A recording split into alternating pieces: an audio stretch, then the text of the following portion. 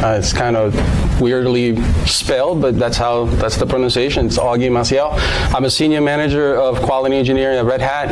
For the last six plus years, almost seven years now, I've been building quality engineering teams responsible for testing, automating tests for uh, several different products at Red Hat. You can see some of them listed here, such as Red Hat Satellite, uh, the Pulp project, which is an upstream project, Ansible Tower.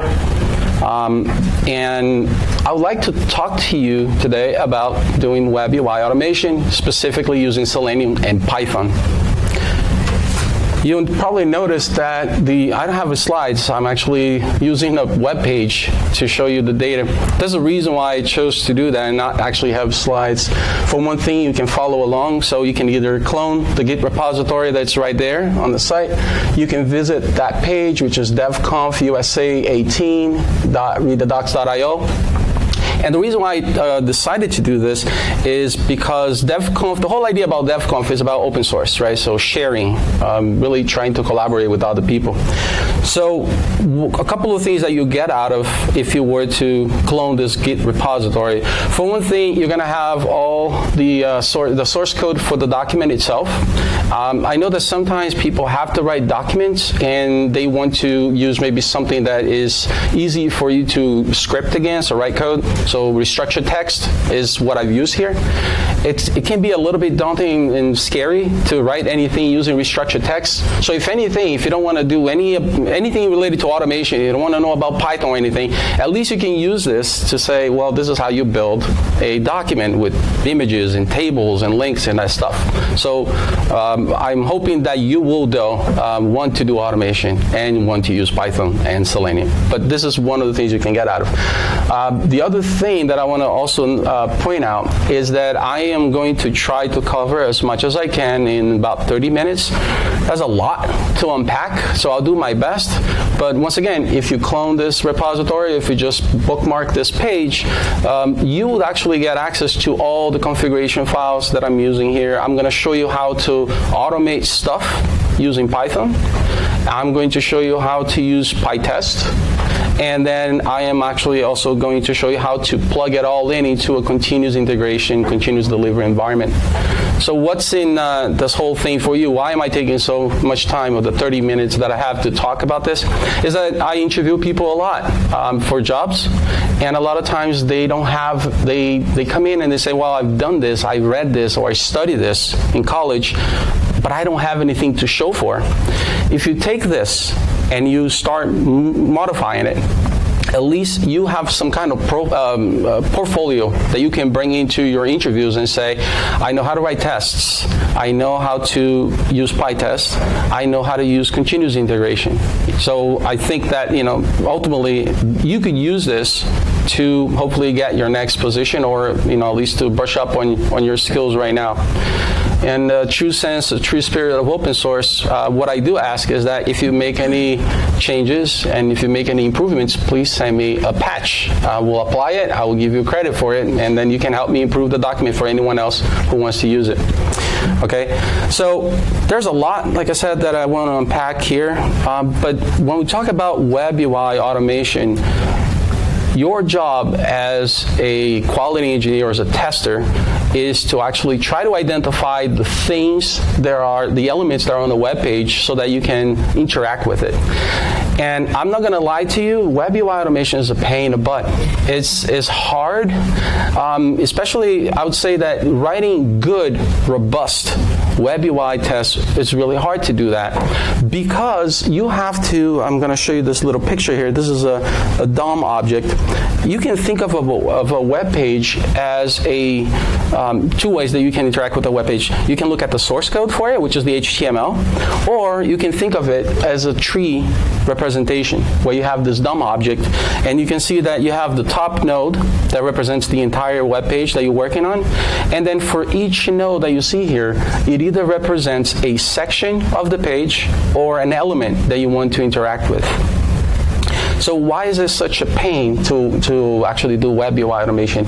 Is that a lot of times designers and the developers, they will change the look and feel of the page. And depending on how you choose, I'm going to show you some of the schemes, some strategies for you to identify the elements here.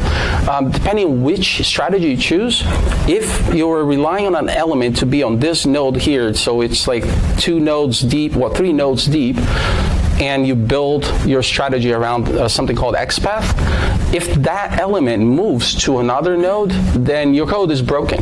The XPath expression that you're going to write is just is, is completely useless, right? So you have you find yourself continuously having to rewrite your expressions, your strategy.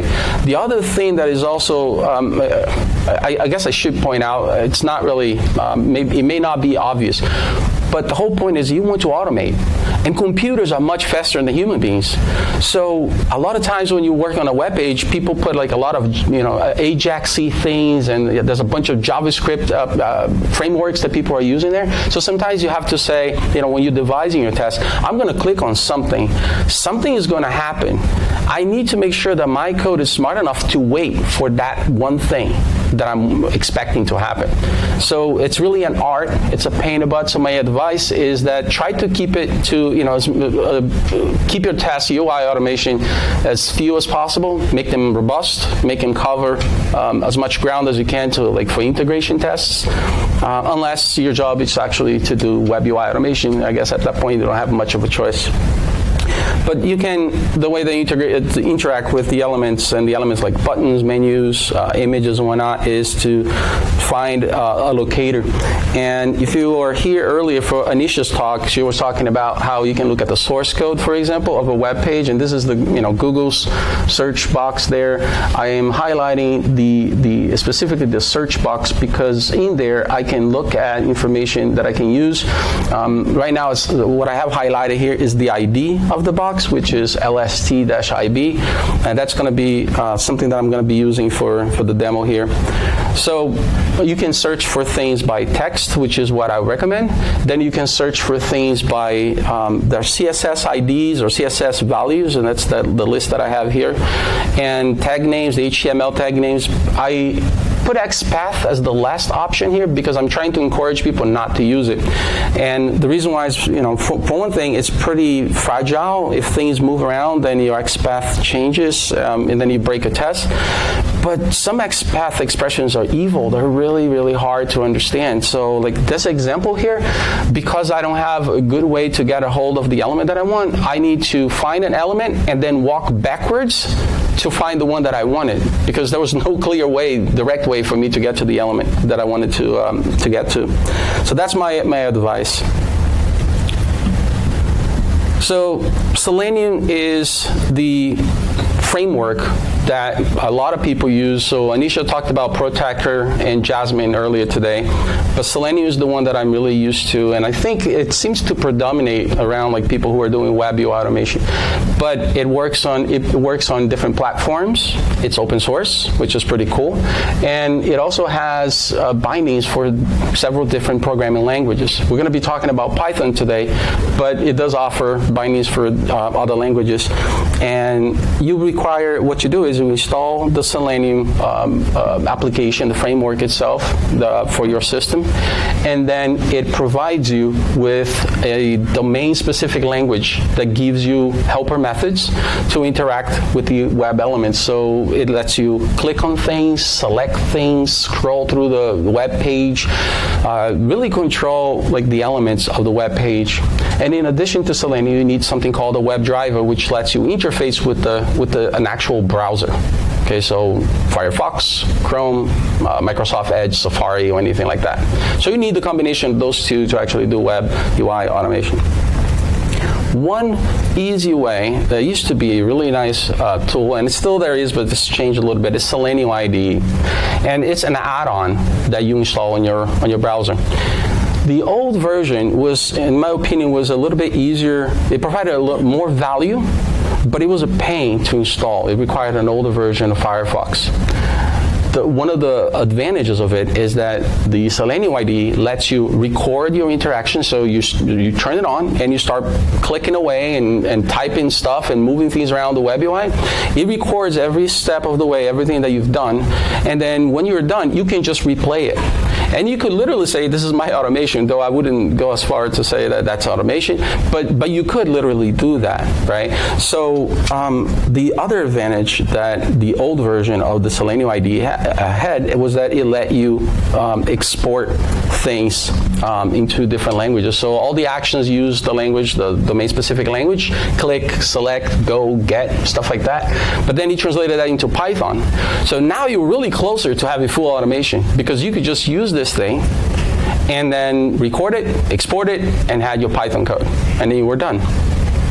The new version, which is what you're seeing on the right-hand side of the screen there, it actually uh, there are good things about it and the bad things. Uh, the good things is that it's a whole, it's really easy to install. So if you have the latest version of Firefox, or now it supports Chrome, so what, whichever browser you have, you can just install it through the add-ons page, and there's nothing else for you to do. So that's pretty cool. The bad things about the new version is that they removed all the bells and whistles that they had, and one of them is not being able to export to Python. So that kind of stinks. But what I want to show you here is that, you know, just to give you an idea what web UI automation really is all about. So I'm going to hit the record button here. And now I'm just going to give you um, an example of going to uh, google.com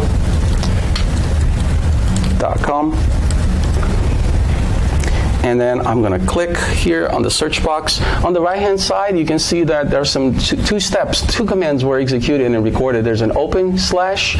Slash is the root um, address that I typed right here, so google.com. It says that I clicked at something that has an ID equals to lst-ib. If you remember the screen, the screenshot that I showed before, that's the Google search box. Now I am going to, you know, type some text, so I'm going to Um, I'm going to search for Red Hat. And then I'm going to hit the search button and it performed the search, right? All the steps were recorded on the right hand side. So if I stop recording now, I can change the speed. Let me make it because this goes really fast, and it goes back to what I said about computers being really fast. But I can replay this, and what you should see now is that it's going to open Google. It's going to type Red Hat in the search box. It's going to hit the Google search button, and you know it's um, it's going to display the list. So I'm running really slowly here for you guys to see it, right? All the steps of the way. But this is, I guess, an example of UI automation right? So it's too bad that the new version of the IDE has changed, but um, I highly recommend that you play around, see, see if you like it. It gives you good ideas. Um, as, you as you are recording your actions, you can actually right-click on the browser, and it adds a, a um, extra menu option that gives you things. For example, you want to say, um, you know, verify that a certain text is present, verify that a certain field is present before you move on to the next thing, or assert that the thing that I'm looking for is there. So you can see all of that exposed through the, um, uh, the interface. So trying to move really quickly here. Um, Selenium IDE is a really nice tool. Um, I hope that you read through the web page and there's some points there to talk about advantages and disadvantages of it. Scirroco is another one. It's the same exact thing. Does the same exact thing as Selenium IDE, but it's for Chrome only. Um, it doesn't really give you the same, I guess, the same experience Selenium IDE does, but it's still there. Now the Selenium IDE supports Chrome, I would recommend you to use Selenium IDE just to play around. But the real magic happens when you start automating things using Python or some other programming language, right? Because now you have really full control over it. And the idea here is, as I mentioned earlier, um, you want to use the Selenium module it exposes a lot of different methods. And these, uh, in my opinion, they're very intuitive because the name of the method tells you exactly what you're trying to accomplish. So find element by ID, find element by XPath, and then you know it should be very intuitive what you're what you're attempting to do. And I would say that most methods are named in such a way that are very easy to follow along, right? So you can see, for example, here are some fragments of HTML, and this is the this box here in the bottom. You can see this is how you would use Selenium to access something by ID, something by the class name, something by you know tag name, and so on and so forth. So it's pretty uh, straightforward.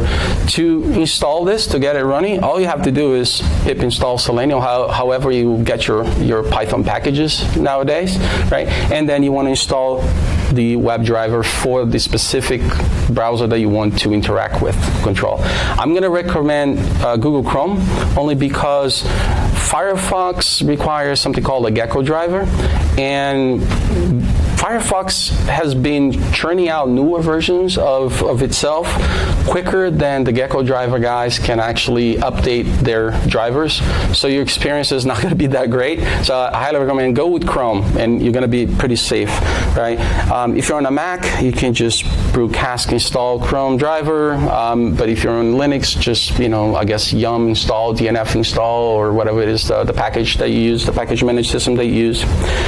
Um, here's something cool that I really liked about also using Python and Selenium is as you start doing UI automation, you probably don't know what to do. You probably don't know like what am I, what strategy am I going to use here, right? I don't even know what I'm trying to find. So I have an example here that is basically going to do two things. One, and if you were to run this in Python, it's going to be really quick, but um, it, it's going to basically open google.com. Uh, it's going to assert that the title of the page says Google. And then what I'm going to do is I'm going to open Google again, and now I'm going to modify Google's logo. I'm going to inject my own images in there. So this shows you that you can interact with the browser elements, and it also shows that you have a really powerful way to really inject anything into the page. So you know, it's really, really powerful.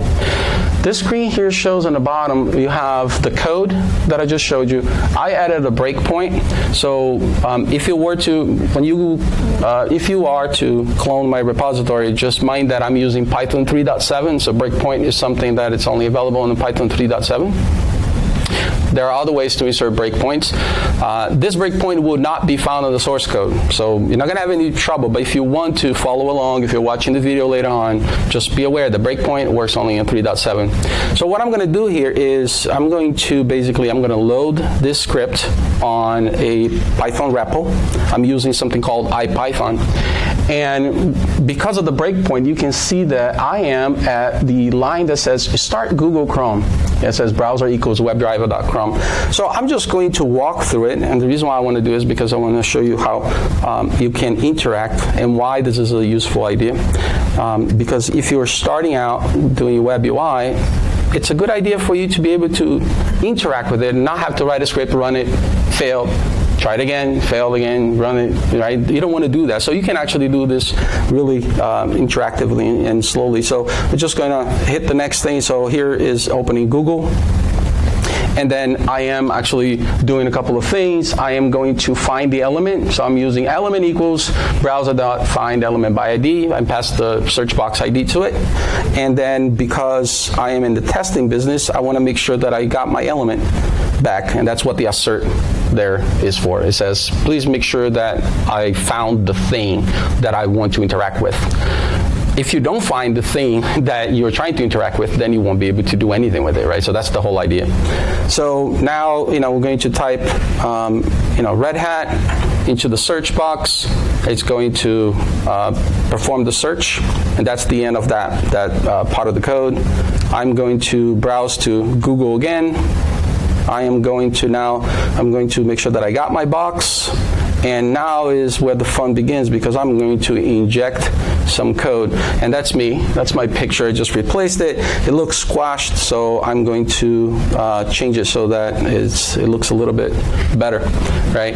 But that's the whole idea. So interact with it. If you had more elements here, say you want to say uh, you want to search that you know the about link works, so you could actually do it right here. Test it.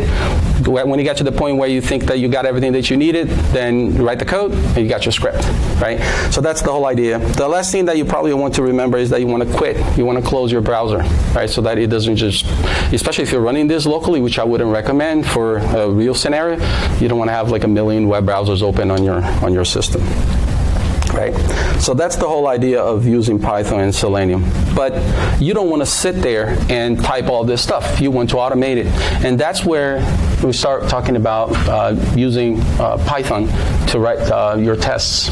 The idea here is that you don't want to sit around and type stuff.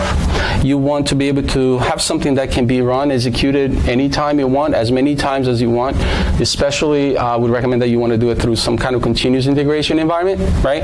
And what I have here is that, you know, because we already have all the, uh, uh, we have Selenium installed, we have a WebDriver installed, what I have here is what is referred to as unit test, Python unit tests uh, like tests. It, it relies on Python's built-in unit test module. And the idea here is that you create a class for every, uh, it's a Python class uh, for every test that you want to run, right? So like a test suite. I'm going to speed up really quickly because I got my 10 minute there. Uh, but basically, you can see a couple of things I want to highlight. There's a setup here, which takes care of creating the browser instance.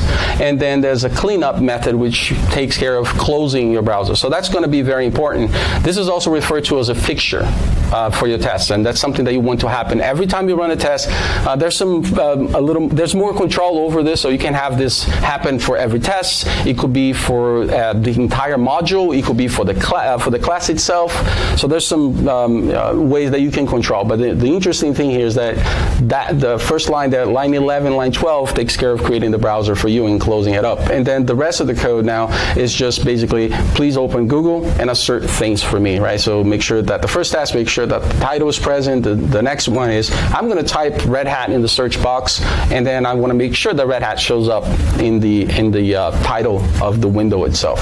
So this is the the whole idea because we're, you know, I don't have a lot of a lot of time. I have the actual code here. This is how you actually run it. So if you clone again, if you clone the repository, you just run Python, put the entire path there, and you're going to see your browser start popping up and running things. And it's going to be really, really quick. Okay.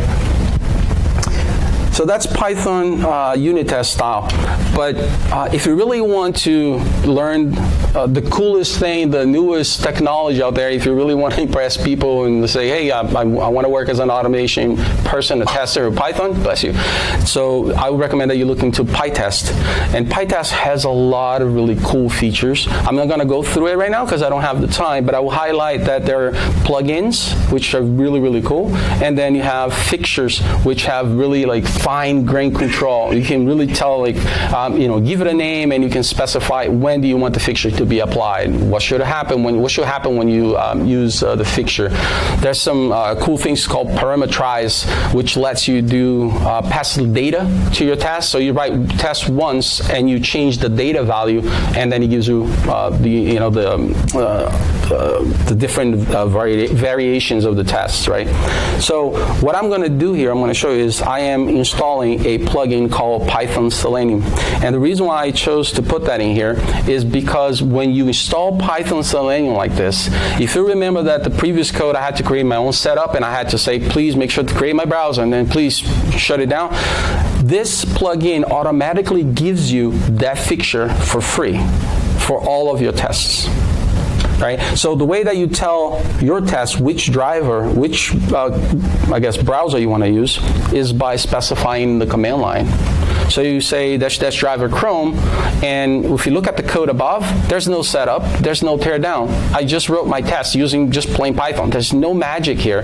But there, the, the magic, I guess, there is is this Selenium object here, right? This, this argument that's being passed to it. And this is the fixture that you get for free. There's no declaration, you don't need to import anything, it's automatically available for you, right? So I think this is really, really, really cool. Um, some other plugin that I have here uh, is xdist. And this allows you, imagine that you have like a thousand tests. You don't want to run your tests sequentially unless you have to. You want to parallelize it, right? You want to get your tests really quickly.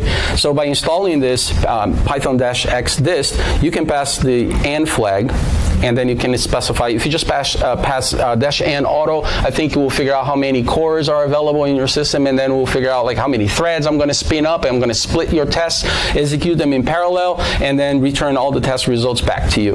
Right? So that's really really powerful here, um, and that's why I wanted to show you that. You definitely want to play with with this plugin. Then what I want to show you is that the next thing that I want to show you is there's something called Sauce Labs. I'm going to try to get back to it because I want to, if I run out of time, at least I want to get to the continuous integration part. And if I have time, I'll come back and I'll, I'll talk about Sauce. If I don't have time, then if you want to ask me about Sauce Labs, just uh, ping me on, you know, outside of the room and I'll, I'll, I'll let you know. But the final, I guess, piece of, um, of this presentation is about CI. So what's the use of, of you having written like a thousand automated tests and they're just sitting there?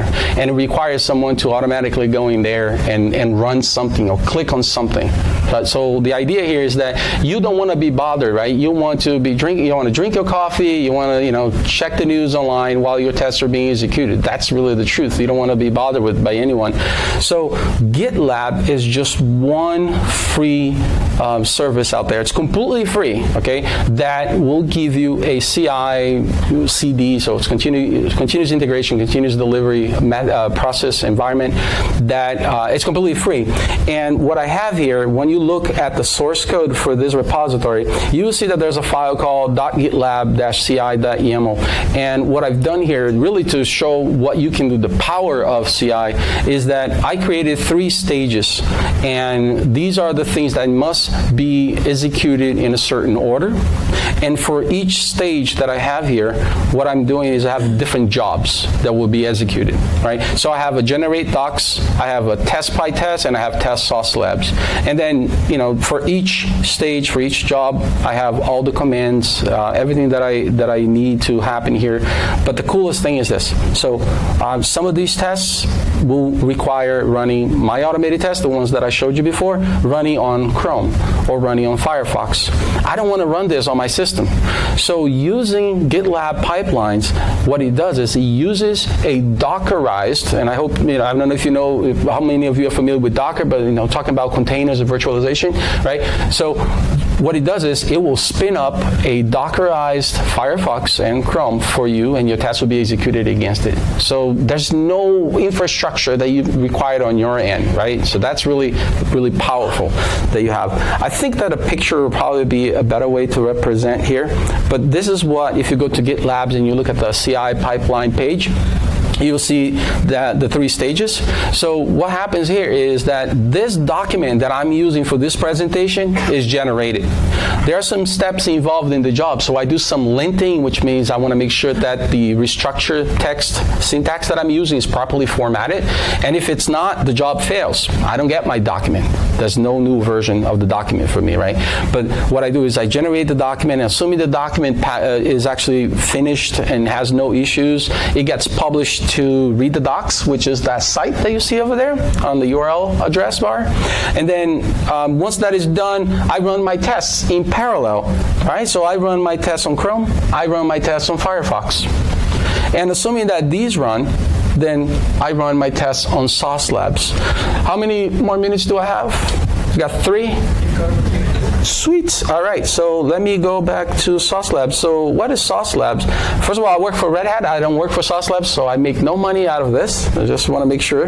Um, but I really we use it internally, and the whole the whole point of using Sauce Labs is that you don't want to host your own infrastructure. What if you are in the business of testing web UI uh, applications for phones, for devices, right? Or you have you have a requirement that you have to, to support Microsoft, right?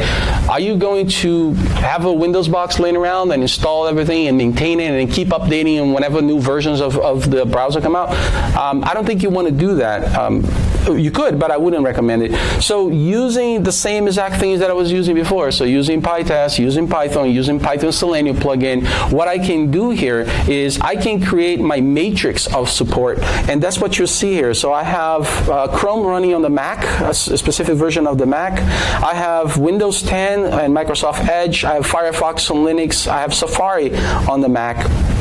And there's some um, magic here also that um, you'll see that when you run the test itself, it does some really cool things. It gives it gives like specific names for the the job so that you know um, you know like I got a little ahead of myself. Here's the test, right? So I only have two tests. My matrix has four different elements. So the outcome is that these two tests will be executed against those browser operating system combinations, right? So it will be a total of eight tests automated in the end for you. Uh, the way the PyTest works and when you use the, the XDist plugin is that the name of the tests are not going to be, it's going to be all like garbage. You're not going to be able to tell which which is which. So there's some really cool um, examples here on this um, uh, file that I that I have here on the um, on the repository that shows you how you can override the ID. So you can give it a, like a name that makes a little more sense.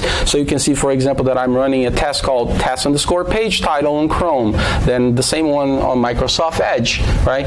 So you know, it is really cool to use Sauce Labs because you using their infrastructure, you're not pay, well, we pay for it, but you're not paying for the, in terms of the, you know, like the sense of you have to maintain it, right? Because that that's time and money and people that requires. And then Sauce Labs also let you, um, you can actually watch the video of the of the test, the recording of it, right? So you can uh, look. That's what you're seeing here on the screen. Um, for example, I actually have 50 VMs available to. Um, to the projects that I work on. So I can have my tests running 50 uh, tests in parallel, which is a pretty powerful thing to have too right? So I've been told that that's the end of my presentation. So there won't, and I, no time for questions. No, five, five, minutes for questions. All right, cool. Yeah. So um, I hope this was useful. Like I said, please, if you if you clone the repository, if you make any improvements, if you have any feedback, please let me know.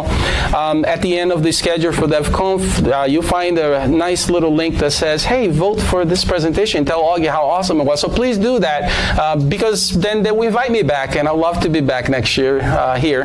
So um, with that, I'll take any questions from anyone. Anyone? Yes. Question? Uh, for running uh, parallel tests, uh, when we write the tests, we have to write in, write them in a way that they are thread safe, right? Correct. So the question. I've oh, been sorry. doing that in Java uh, using the thread safe thing, but I don't know whether there is some utility in Python for that. Yeah, I mean, I would say that uh, I believe that the plugin will handle that. The question was running tests in parallel being thread safe right? Um, I believe that the plugin will handle all of that for you, but I think the other factor that is important for you to keep in mind is that if you have a specific setup or teardown, let's just say, for example, that you, your tests require a database, right? So you don't want your tests relying on the same database if they're going to be changing the data. So that's something that you're going to have to, to handle also. So not just being thread safe, but also the, the content that you're going to use. All right. You're welcome. Yes, question?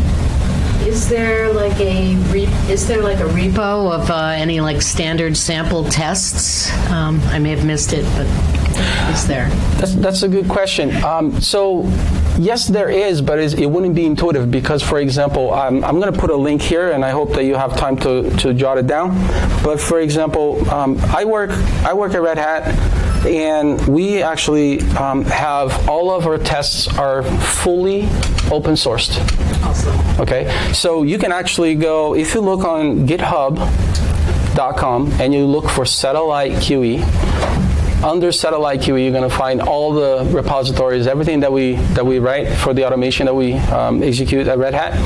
Robottelo is something that I wrote um, 2011. It's still been around, but when you go to Robottelo and then you look under the tests folder there, then um, there's some a couple of um, different folders. But this one over here, you can see, for example, like how do I do API tests? How do I do CLI tests? Um, so yes, there's there there are many repositories out there, but I don't think that there's anything that is like the definite source of truth for that. So you have to look around. So you can look at this, um, and you know, feel free to ping me, email me, um, and I'll, I'll point you to something interesting. Thank you. You're welcome. One more question, perhaps? Anyone? I'm preventing you from getting lunch? Yes? so you mentioned that the documentation is You mentioned that the documentation is automated with the change of test. How do you, like for your stakeholders and just for legacy, like referring to it, how do you look at the history? Like, is there a way to, like, wh- what does that look like? Yeah. So I mean, this specific document wouldn't, I guess, wouldn't match, I guess, the, the scenario that you pointed out because this is just for an example. But I would say that you know what you have to do is anyone who would like to see what the changes were in, you go to either GitHub or in this case you go to GitLab, and then you can look at the um, at the repository. You can look at all the commits. So this is where we're going to see the history of the changes that went in right? And if you if you're in the business of writing documents, right, so then you probably submit your your changes and have someone review them before they get merged. So they'll have a review process uh, before anything happens, right? So the pipeline is executed every time there's code changes here. All right. I think we're out of time. All right. Cool. Thank you very much for your time. I appreciate it. Thank you.